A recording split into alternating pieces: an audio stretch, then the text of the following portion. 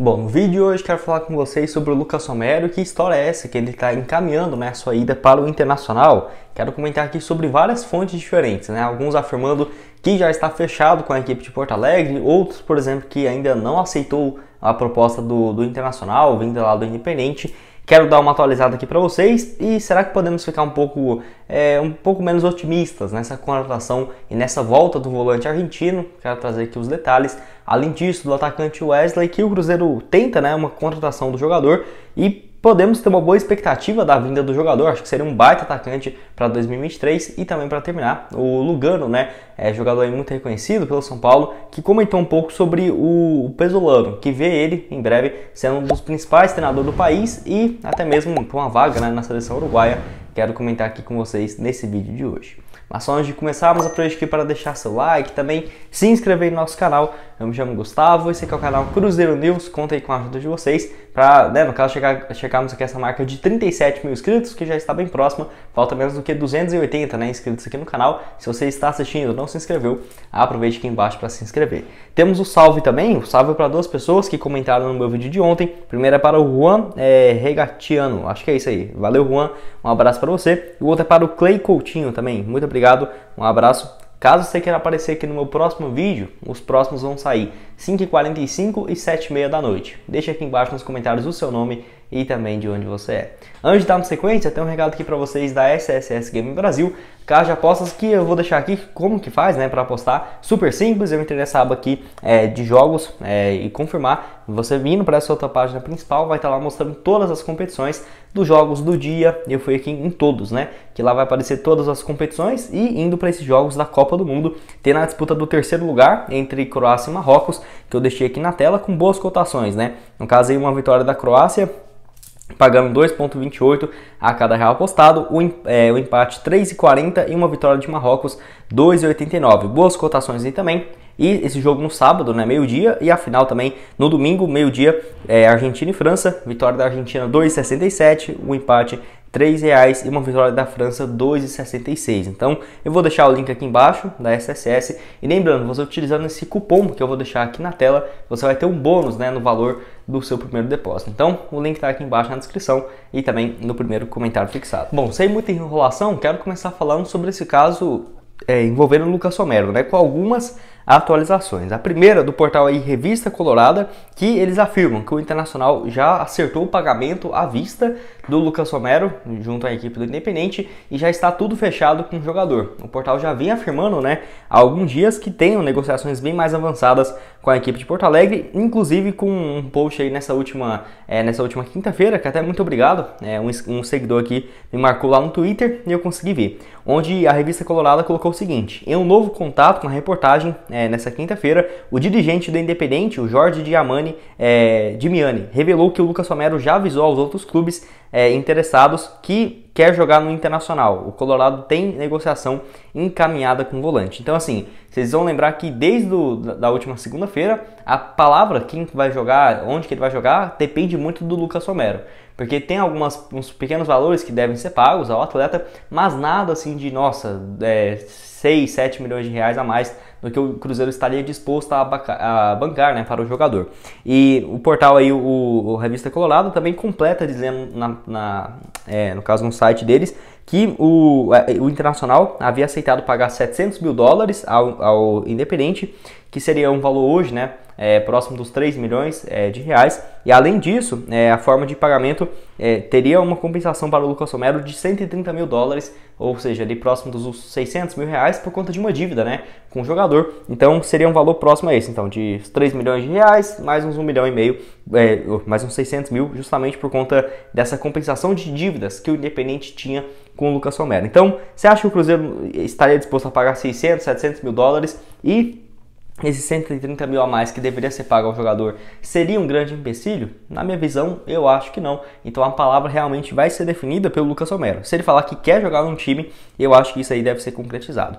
Enfim, o que, que, dizem os portais do Cruzeiro né, sobre esse, esse, caso, que é justamente sobre isso que eu quero falar agora, para dividir aqui né, é, esse caso do Lucas Romero em duas partes. Bom, a primeira informação vem lá do Diário Olé, já na manhã dessa sexta-feira, que de acordo com um portal que é especialista no futebol argentino, O, nas últimas horas, o Independente recebeu uma proposta do Internacional pelo Lucas Somero e a primeira oferta foi rejeitada. Então, Diferentemente do que havia dito a revista Colorada, afirmando que o Lucas Romero já era jogador do Independente ou do, do, do, Internacional, já teria tudo acertado, o portal Diário Olé trouxe essa informação na manhã dessa sexta-feira. Foi no caso aí por volta das 9 horas da manhã essa notícia de que teria recusado essa primeira oferta.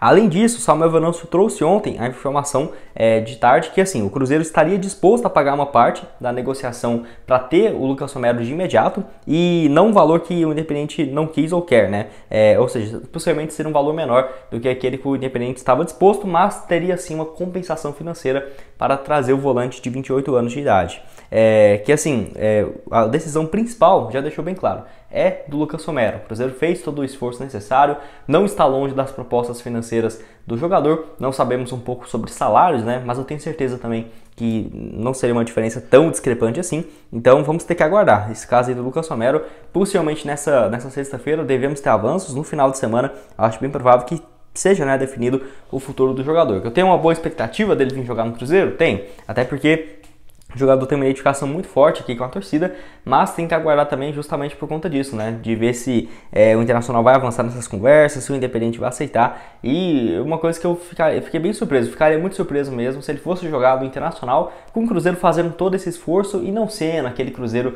de 2020, né? Nossa, não foi que, por exemplo, subiu para a todo aos trancos e barrancos, não. Um projeto muito bem organizado, tem uma proposta financeira também para o Independente, tenho certeza que não seria um salário baixo para o Lucas Romero. E uma coisa que pesa a favor do Internacional é dele voltar a jogar com o Mano Menezes, onde foi o treinador que ele trabalhou durante todo o período no Cruzeiro. Mas assim, no Cruzeiro, para falar a verdade, o, eu vejo que o, o Mano Menezes viu o Lucas Romero muito mais como reserva do que como titular. Obviamente viveu bons momentos, mas o tanto que o, o Mano Menezes insistia em deixar o Lucas Romero no banco, é, e agora dois anos depois está mudando, é, três anos depois, está né, mudando completamente de, é, divisão, enfim, é uma hipocrisia assim gigantesca.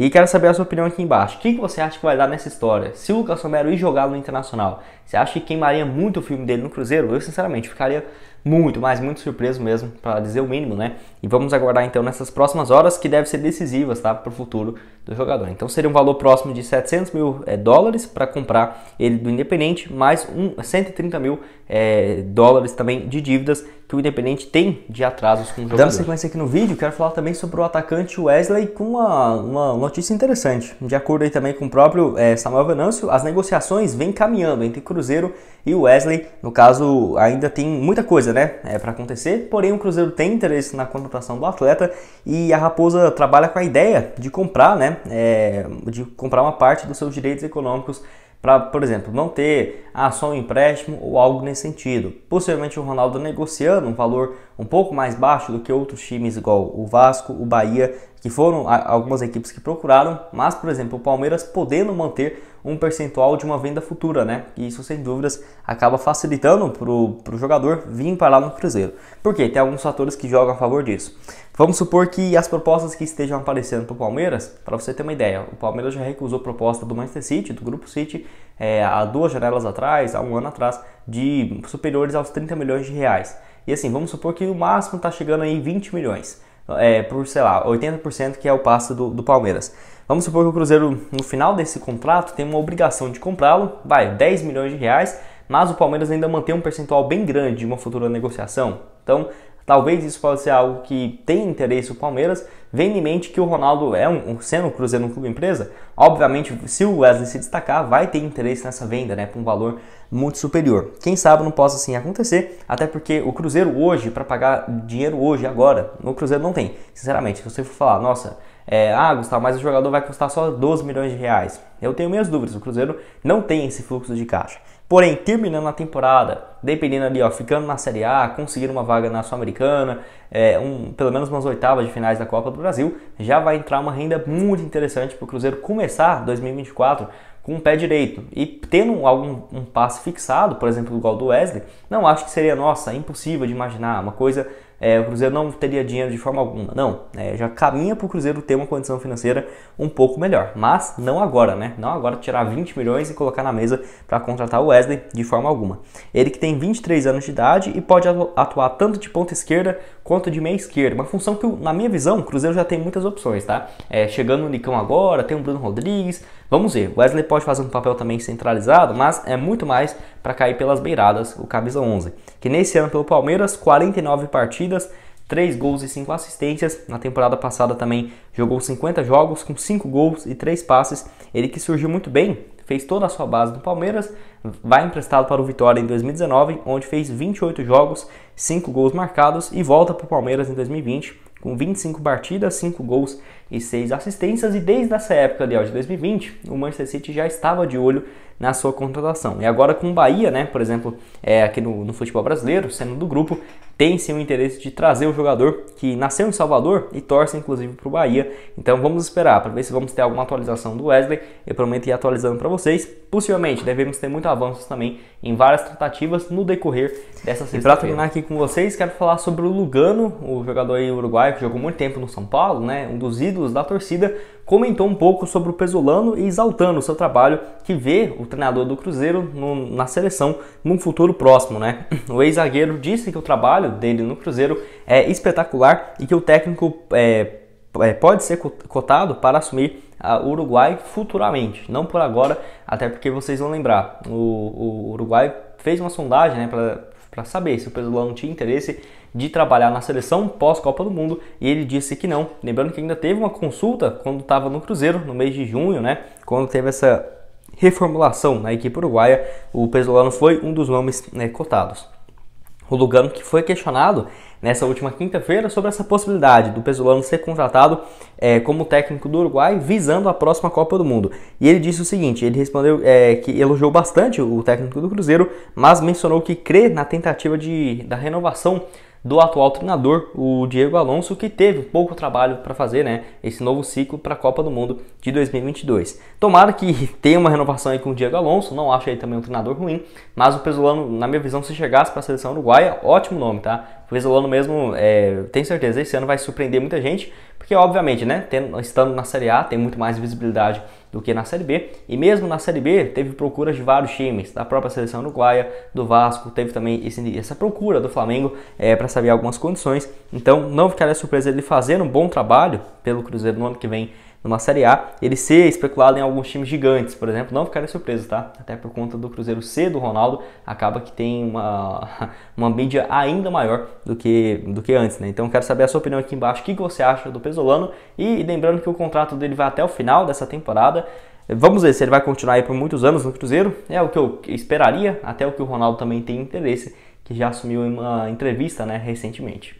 Bom, esse foi o vídeo, espero que tenham gostado. Não esqueça de deixar seu like, também se inscrever em nosso canal, ajudar nós a chegarmos a essa marca de 37 mil inscritos, que já está bem próxima, então conto com a ajuda de cada um de vocês. Vou deixar aqui também na tela final outras sugestões de conteúdos que trouxemos para vocês nessas últimas semanas, é, e também de ontem, né, falando um pouco mais sobre alguns nomes especulados. E lembrando que às 5h45 tem mais um vídeo aqui para vocês e outro às 7h30 da noite. Muito obrigado a todos por terem assistido até aqui, até mais, valeu!